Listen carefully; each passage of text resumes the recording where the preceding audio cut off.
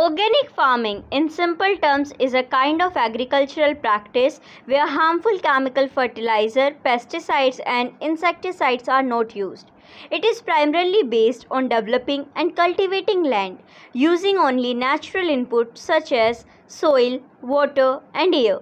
The purpose of organic farming is to develop healthy and nutritious crop as well as save our environment from degradation and pollution. Organic farming helps countries achieve sustainable use of natural resources. Non-renewable natural resources such as water and coal are increasingly used by the agriculture industry and hence including organic farming will help save our natural resources. The trend of consumption of organic food is increasing every day in the world market.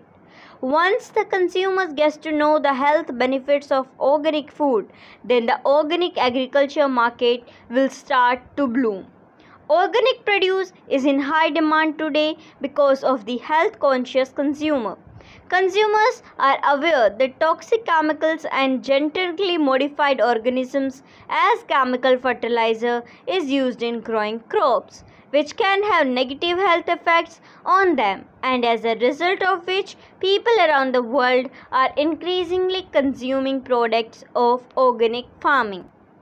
Consumption of organic food has many benefits as compared to conventional food. The two types of organic farming are pure organic farming and integrated organic farming. The economy of scale cannot be achieved through organic farming since the production is in smaller amount in comparison to conventional agricultural methods.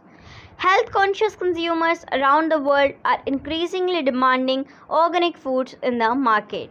Thank you Jai Hind Jai Bharat